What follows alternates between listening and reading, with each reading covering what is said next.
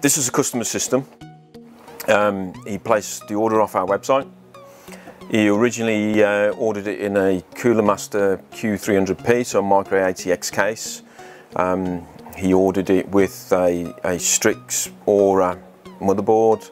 Um, most of the spec that's in it, you know, the um, RGB cooler, RGB fans. Um, we come to build it and uh, realised that the, the motherboard, even though it was Aura, didn't have an RGB header.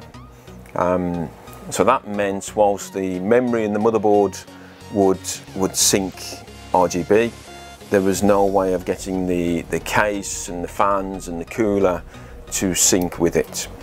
Um, so basically the first thing we've done is, is called him up and says, look, you know, this is this is the situation, this is what you would get. Um, you know, obviously from what he'd ordered, the reality is he probably wanted a complete RGB system that synced. Um, so we had a discussion with him and, you know, he did want it all syncing, all looking nice. Um, so we spoke about his options. We've changed the motherboard to an ATX motherboard, which had RGB headers, and then we've changed the Q300P to um, this case, which he quite liked. This is the uh, Cooler Master H500P, and reason you know reason I like this is number one how it looks because it, it does really look nice. It's a nice case, quality finish. These big fans, yeah, when the lights are off, they're, they're going to look nice. Um, it's got a you know beautiful glass panel. It's probably one of the best glass panels I've seen on a case so far. Um, just really impressed with how how that looks.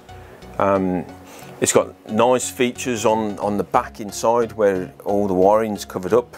It, it's just a quality case. It's, I want to take it home. So basically the motherboard that he chose wasn't going to be suitable to get a completely synced RGB experience. Um, so we first went to see if there was any options on a micro, ATX level and the only ones that we could find, you had to drop back a chipset, which he really didn't want to do. And to be honest, when, when you're looking at this level of system, um, he, you know, dropping back from a Z370 to a B360, no, you, you, this level of system with everything he's got in there really needed to be a Z370 system.